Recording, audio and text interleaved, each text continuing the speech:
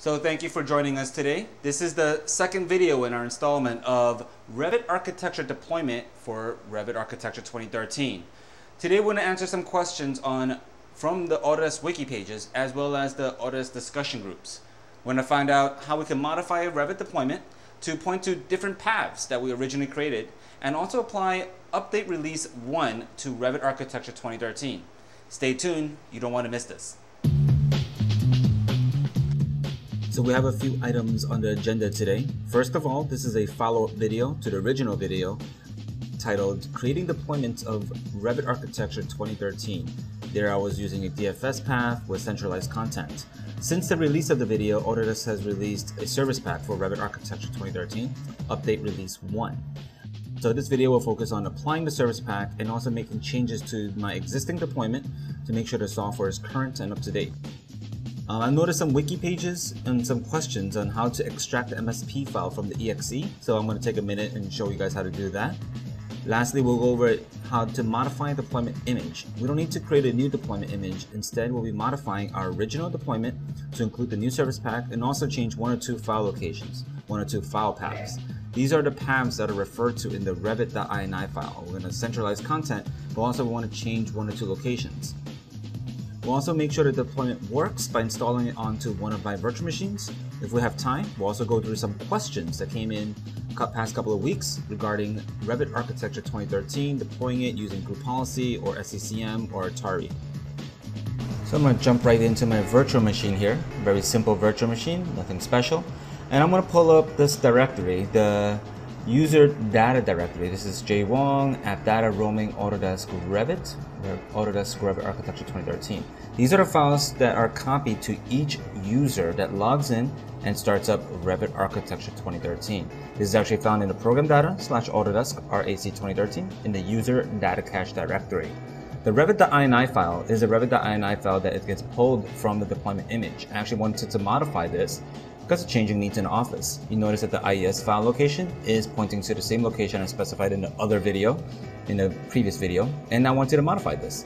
But instead of modifying it on this only workstation, I want to modify it on the deployment. That way I don't have to do it for 10 or 20 machines each individually. I can do it centrally. I'm going to browse into the microsoft.local slash deployments. That's where I keep all my deployments. I'm going to scroll down to Revit Architecture 2013 64-bit and open the INI file. I'm gonna select the project path and I'm gonna change it. You don't want this. I actually want to make it C drive Revit project data. Keep it local. This is one of the reasons we have this is because work sharing would not work if you keep the project data on the network drive. So I'm going to change that to local. And also IES file location. I'm also going to keep that stored locally. This actually is better locally because the IES data, the shadows, the lighting actually works better when it's kept locally. So with this change, I'm going to save this file right here and close it and go into tools and create and modify. So instead of creating a new deployment, we're just going to modify the existing one with the changes that we need. So right after you click that, make sure you the security window, just click run. And you're gonna get the dialog window to modify the deployment image. Just give it a second to initialize. I'm not gonna change any, make any changes here. I'm just gonna click on next. And make sure you read the end user license agreement. Just click next anyway. And right here is where we're gonna select to change.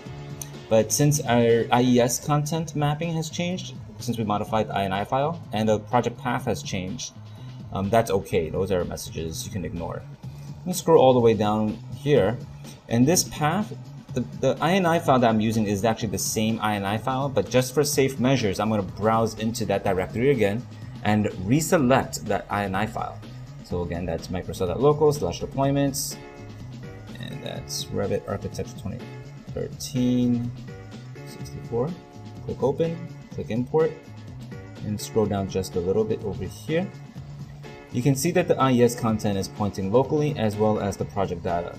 For safe measures, I'm gonna click append, scroll down just a little bit. you can see that also there's a new service pack. Instead of downloading it here, I already downloaded it onto my virtual machine. I'm just gonna bring that Windows Explorer up. I put it on my C drive and I'm just gonna copy that, that file name, including the executable exe extension, and open the command window. To this is to extract the MSP file. So I'm gonna go C colon slash right click paste space slash E for extract and I'm gonna go C colon slash paste again and then the extension is MSP so just click enter. After that you'll see on the back that there's a new file that just got generated once I click enter. And it's roughly the same size at 70 megs a little smaller. And that's the MSP that's how you extract the MSP from the exe pretty simple. I'm to close out the command window click add browse to my C drive which is on my computer. C drive, click on that guy, oops. Guy, click OK. Scroll down, nothing changes. So from here, and I'm gonna shrink that and click create. So right now it's repackaging Revit Architecture 2013 with the changes I've just made and also including the update release 1 that I just put in there as well. It usually does take a couple of minutes, nothing substantial, 10 or 20 minutes max.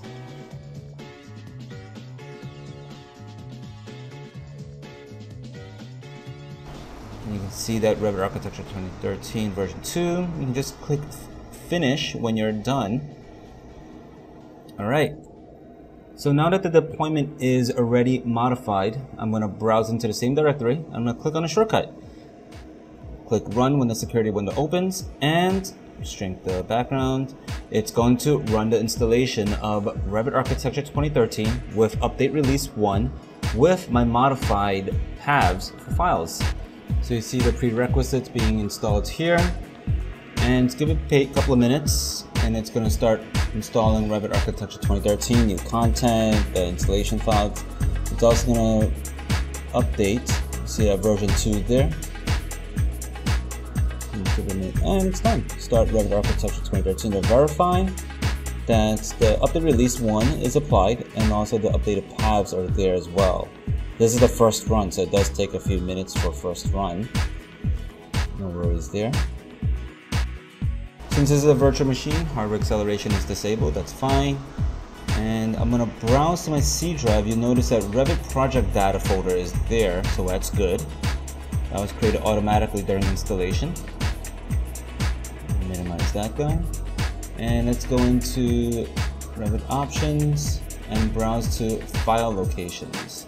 You see that the file locations are retained as well as the changed, the modified ones. The C Revit project data is retained as well. Architecture templates, the construction templates, they're all good. So, after applying update 1, file locations are the same and just verify it's update 1, click on about, and it is. So there you have it. Everything works just as expected. So some questions that came through my inbox and also the Autodesk wiki pages and forums with people who have installations of Revit that do not retain the settings from the revit.ini file.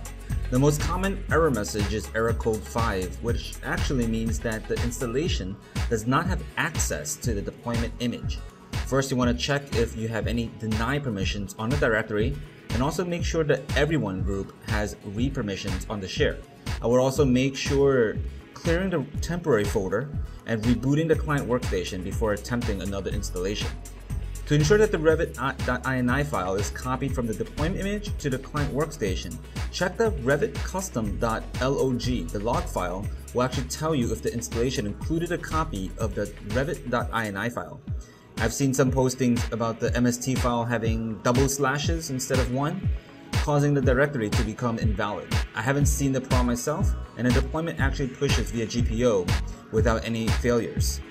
So as one of the other posters mentioned in Autodesk wiki pages, if all else fails, you can also make a batch file to manually replace the revit.ini file after installation. This is probably the workaround that will always succeed since it forces the revit.ini file on the client workstations to be updated. As with all things in IT, you want to fix the problem and minimize downtime. So thanks for watching. I hope everybody found this follow-up video helpful. If you're still having trouble with your Revit deployment, be sure to contact your reseller for technical support. If you don't have a reseller, feel free to give us a call. Be sure to check out my blog and YouTube channel for other helpful tips and tricks. This is James Wong signing out.